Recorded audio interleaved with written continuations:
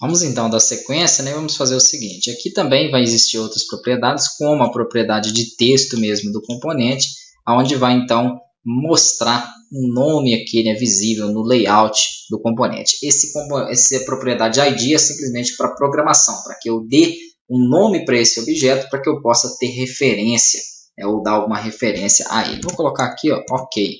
Vai ser então o nome desse meu botão. Aqui eu vou ter meu, minha caixa de texto e aqui logo abaixo dele o meu botão, né? OK.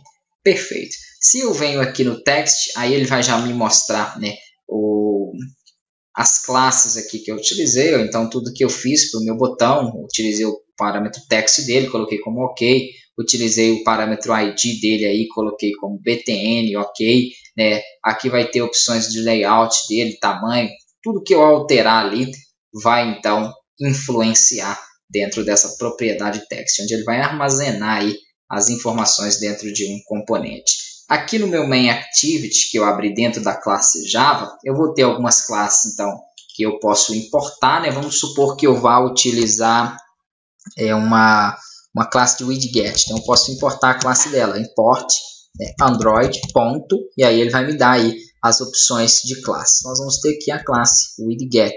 Né? Se eu coloco ponto novamente, ele vai me deixar utilizar o spine, né, a data, adapter view, e entre outras aí. Se eu coloco aqui o asterisco, né, ele pega todas as classes para que eu possa então estar utilizando. A partir desse momento, todas as classes e o widget eu posso utilizar. Ou posso também selecionar né, uma a uma ali, caso é, seja necessário, caso você precise utilizar. Então, deixei habilitado para que ele me permita utilizar todas as classes de widgets. Aqui abaixo eu posso colocar também algumas variáveis privadas, tá joia? Então, vou criar aqui uma, por exemplo, private. Vamos supor que eu queira nomear, né, dar, uma, dar uma referência para minha caixa de texto. Eu sei que ela chama edt nome, que foi o que eu coloquei.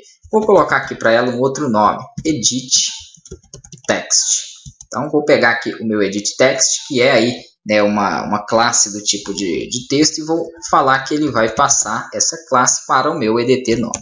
Vou fazer a mesma coisa para o meu botão. Então, meu botão ele é da classe button e ele se chama btn. Ok, perfeito. Então, eu criei duas referências aqui, né? o edit text e passei aqui a minha caixa de texto e o botão e passei na sequência o meu botão. Para que eu possa utilizar ele, eu vou vir aqui dentro do meu protect void, pode ser abaixo do content view aí, né? e falo o seguinte, eu vou recuperar as referências de cada um dos meus componentes. Então vamos começar pelo de nome, que é o meu edt nome. Meu edt nome ele vai receber, então edt nome igual find view by id. O que é isso?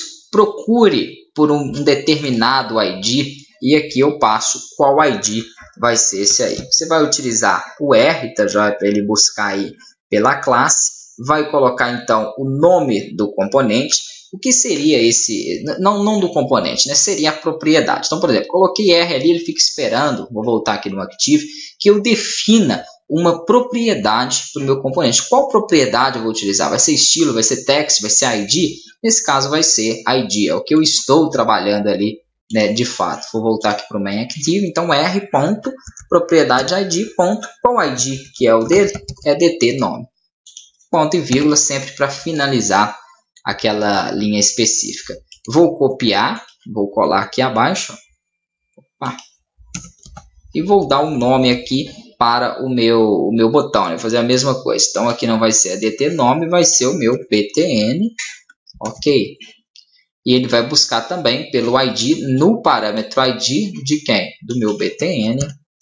Ok, perfeito. Passo aí então né, essas, essas mesmas referências aí para ele, ele tira ali aquele erro. Embora ele ainda está com um erro de referência, vamos se dizer assim, né, aqui dentro da, da minha classe. Ele está mostrando aí né, que ele está sublinhado como se realmente ali contesse um, um erro específico.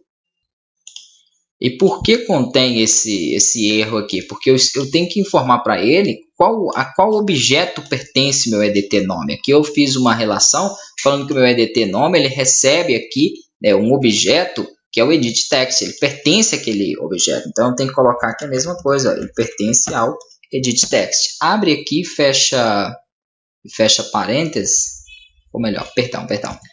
Para referenciar é um pouquinho diferente, né? Eu coloco o meu objeto entre parênteses, não o método de busca dele ali. Então, ele vai passar o edit text aqui para o meu EDT nome e aqui a mesma coisa, eu vou passar o meu botão para o meu, o meu BTN, ok, ou seja, ele vai receber né, aquela propriedade ali para o meu BTN, ok.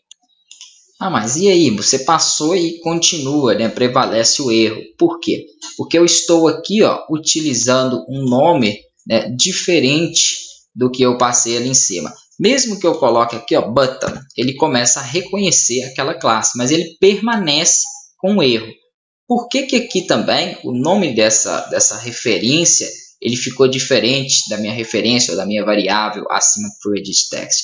Porque button é o nome de propriedade. Eu não posso utilizar o nome do componente né, para função, para variável, para nada aqui que seja de referência, que não seja o componente. Então aqui eu posso trocar, eu posso colocar um T posso colocar o N, tá joia? Mudar. Nesse caso a classe é button com N e não com M. Então vou utilizar e pedir para ele buscar a partir da minha classe button né, e a partir da minha classe edit text. Aí vai funcionar perfeitamente.